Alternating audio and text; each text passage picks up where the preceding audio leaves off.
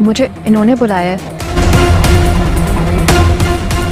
That way मैं इसको नहीं जानता ਇੱਕ ਡਰਾਮਾ ਲੱਗ ਰਿਹਾ ਅੱਜ ਕੱਲ ਮੈਂ ਉਹਨੂੰ ਵੇਖ ਰਿਹਾ ਵਾਂ ਤਕਰੀਬਨ ਮੈਂ ਕੋਈ ਤਿੰਨ ਚਾਰ ਕਿਸ਼ਤਾਂ ਉਹਦੀਆਂ ਵੇਖ ਲਈਆਂ ਨੇ ਮੈਨੂੰ ਉਹ ਬਹੁਤ ਵਧੀਆ ਲੱਗਿਆ ਅੱਜ ਦੇ ਇਸ ਦੌਰ ਵਿੱਚ ਅੱਜ ਦੇ ਇਸ ਦੌਰ ਵਿੱਚ ਜਿੱਥੇ ਅਸੀਂ ਬੜੇ ਗਿਲੇ ਸ਼ਿਕਵੇ ਮੈਂ ਖੁਦ ਕਰਨਾ ਕਿ ਯਾਰ ਸਬਕ ਅਮੂ ਜਿਹੜੇ ਡਰਾਮੇ ਨੇ ਉਹ ਪੇਸ਼ ਨਹੀਂ ਹੁੰਦੇ ਯਾਨੀ ਕਿ 90 ਦੀ ਦਹਾਈ ਵੱਲ ਜਿਹੜਾ ਅਸੀਂ ਡਰਾਮੇ ਵੇਖੇ ਨੇ ਨਾ ਉਹੋ ਜਿਹੀਆਂ ਚੀਜ਼ਾਂ ਹੁਣ ਸਾਹਮਣੇ ਨਹੀਂ ਆਉਂਦੀਆਂ ਕਿ ਜਿਹਦੇ ਵਿੱਚ ਮੁਆਸ਼ਰੇ ਨੂੰ ਜਿਹੜਾ ਸੁਧਾਰਿਆ ਜਾਏ, ਕੋਈ ਸਬਕ ਸਬਕ ਦਿੱਤਾ ਜਾਏ, ਨੌਜਵਾਨ ਨਸਲ ਨੂੰ ਸਬਕ ਦਿੱਤਾ ਜਾਏ।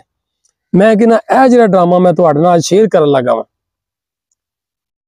ਸਲਾਮ ਹੈ ਯਾਰ, ਉਸ ਬੰਦੇ ਨੂੰ ਜਿਹਨੇ ਲਿਖਿਆ। ਡਰਾਮੇ ਦਾ ਨਾਮ ਸਕੂਨ।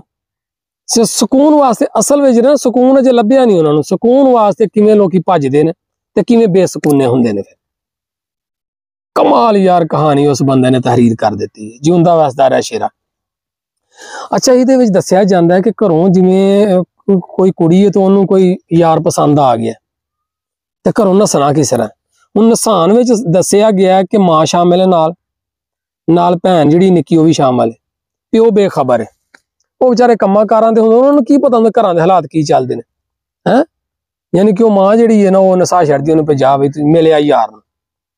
ਤੇ ਭੈਣ ਵੀ ਨਾਲ ਲੱਗਾ ਲਾਰੀ ਚੜਨ ਜਾਂਦੀ ਹੈ ਕਿ ਛੇਤੀ ਮੋੜਾਂ ਹੀ ਹੁਣ ਵੇਖਿਓ ਸਬਕ ਦਿੱਤਾ ਜਾਣ ਲੱਗਿਆ। ਹੁਣ ਜਦੋਂ ਜਾਂਦੀ ਹੈ ਨਾ ਉੱਥੇ ਜਿਹੜਾ ਜਿਹਨੇ ਸੱਦਿਆ ਹੁੰਦਾ ਕਿ ਆ ਜਾਈ ਅਮੀਰ ਹੁੰਦਾ ਲਿਆ ਦੋ ਤੇ ਘਰ ਪੜਦੀ ਉਹ ਪਛਾਣਨ ਤੋਂ ਇਨਕਾਰ ਕਰ ਦਿੰਦਾ। ਇਹਨੋਂ ਬੁਲਾਇਆ। ਉਹ ਇਸ ਕੋ ਨਹੀਂ ਜਾਣਦਾ ਟਗੇ ਦੀ ਇੱਜ਼ਤ ਨਾ ਰਹੀ ਉੱਥੇ ਜਾ ਕੇ। ਕੀ ਮਿਲਿਆ? ਇਹ ਹੁੰਦਾ ਪਿਆ ਸਰਾ ਮੈਂ ਕਹਿੰਦਾ ਐਸਾ ਸਬਕ ਦਿੱਤਾ ਉਹਨਾਂ ਕਿ ਰੋਲ ਰੋਲ ਪਈਆਂ ਮਰਦੀਆਂ ਨੇ ਹੁਣ। ਜਦੋਂ ਉੱਥੋਂ ਵਾਪਸ ਮੁੜਦੀ ਏ, ਬਾਦੋਂ ਪਿਓ ਨੂੰ ਵੀ ਪਤਾ ਲੱਗ ਜਾਂਦਾ, ਰਿਸ਼ਤੇਦਾਰਾਂ ਨੂੰ ਪਤਾ, ਥੂ ਥੂ ਲੋਕੀ ਕਰਦੇ ਫਿਰਦੇ ਨੇ ਕਿ ਪਿਓ ਸੋਚ ਸੋਚ ਕੇ ਮਰਨ ਵਾਲਾ ਹੋ ਜਾਂਦਾ। ਕਿ ਮੇਰੀ ਮੇਰੀ ਔਲਾਦ ਹੈ ਮੇਰੀਆਂ ਧੀਆਂ ਐਸ ਨੇ ਜਿਨ੍ਹਾਂ ਨੂੰ ਮੈਂ ਪੁੱਤਰ ਸਮਝ ਕੇ ਪਾਲਦਾ ਸਕੇ ਜਿਨ੍ਹਾਂ ਤੇ ਪੈਸੇ ਖਰਚ ਕਰਨ ਡਿਆ, ਕਿ ਤਲੀਮ ਦਿਲਵਾਓ, ਇਹਨਾਂ ਨੂੰ ਸ਼ਊਰ ਦਿਲਵਾਓ। ਪੜ੍ਹ ਲੈ ਕੇ ਫਿਰ ਅਸਰਾਂ ਦਾ ਸ਼ਊਰ ਅੱਜ ਕੱਲ ਹੁੰਦਾ ਜੇ ਪਿਆ। ਫਿਰ ਉਹ ਆਪਣੀ ਜਨਾਨੀ ਤੇ ਬਹੁਤ ਗੁੱਸਾ ਕਰਦਾ, ਕਿ ਤੂੰ ਮੇਰੇ ਨਾਲ ਵੀ ਧੋਖਾ ਕੀਤਾ। ਤੂੰ ਵਿਗਾੜ ਛੜੀ ਏ ਘਰ ਦਾ ਸਤਿਆਨਾਸ਼ ਹੈ ਜੀ, ਮੂੰਹ ਬਾਹਰ ਕੱਢਣ ਜੋਗੇ ਨਹੀਂ ਰਹੇ। ਫਿਰ ਉਹ ਤਾਂ ਖੈਰ ਉਹਨੂੰ ਤੇ ਕਿਸੇ ਨਾਲ ਵਿਆਹ ਵੀ ਤਾਂ ਕੱਢ ਛੱਡਦੇ ਨੇ ਘਰੋਂ। ਫਿਰ ਉਹਦੀ ਜ਼ਿੰਦਗੀ ਕਿਵੇਂ ਅਜੀਰਨ ਹੋਣ ਡਈ ਕਿਵੇਂ ਉਹ ਰੋਂਦੀਆਂ ਨੇ ਫਿਰ? ਇਹ ਤੁਹਾਨੂੰ ਪਤਾ ਹੀ ਹੈ ਫਿਰ। ਫਿਰ ਬਾਅਦ ਵਿੱਚ ਜਿਹੜੀ ਛੋਟੀ ਭੈਣ ਜਿਹੜੀ ਰਲ ਕੇ ਉਹਨੇ ਵੀ ਵੱਡੀ ਨੂੰ ਕੱਢਿਆ ਹੁੰਦਾ ਯਾਰ ਨੂੰ ਮਿਲਣ ਵਾਸਤੇ। ਉਹ ਉਹਨੂੰ ਕਿਸੇ ਐਸੇ ਦੇ ਲੜ ਲਾਇਆ ਉਹ ਡਾਕਟਰ ਬਣਨਾ ਚਾਹੁੰਦੀ ਹੈ।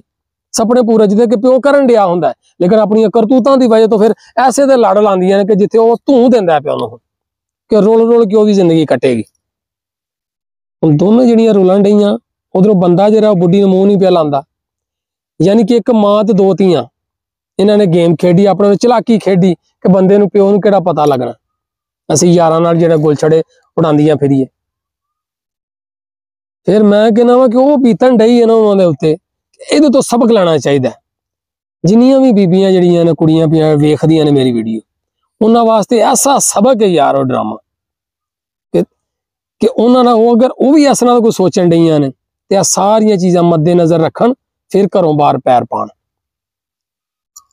ਜਿਨ੍ਹਾਂ ਦੀਆਂ ਔਲਾਦਾਂ ਇਸ ਤਰ੍ਹਾਂ ਕਰਦੀਆਂ ਨੇ, ਫਿਰ ਉਹਨਾਂ ਦੇ ਮਾਪੇ ਜਿਹੜੇ ਨੇ, ਸਾਰੀ ਮਗਾਂ ਨਸਲਾਂ ਜਿਹੜੀਆਂ ਨੇ, ਕਿਸੇ ਸਿਰ ਕੱਢਣ ਜੋਗਾ ਨਹੀਂ ਰਹਿੰਦੀਆਂ।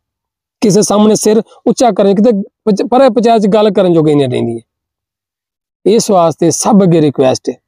ਸਭ ਦੇ ਧੀਆਂ ਪੁੱਤਰਾਂ ਅੱਗੇ ਰਿਕੁਐਸਟ ਹੈ ਕਿ ਖੁਦਾਰਾ ਆਪਣੇ ਵਾਲਦੈਨ ਦੇ ਬਾਰੇ ਸੋਚਿਆ ਕਰੋ।